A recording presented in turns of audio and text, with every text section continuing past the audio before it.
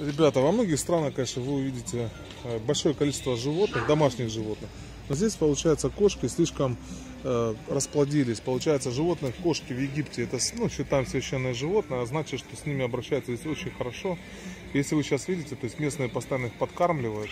И в результате расплодилось тут кошек столько, что как бы даже сложно сказать их количество. Они настолько тут наглые, настолько классно себя Лапами чувствуют. Да. Берут. Ну, видите, там один вожак, это потихонечку тягает, чтобы по морде не получить.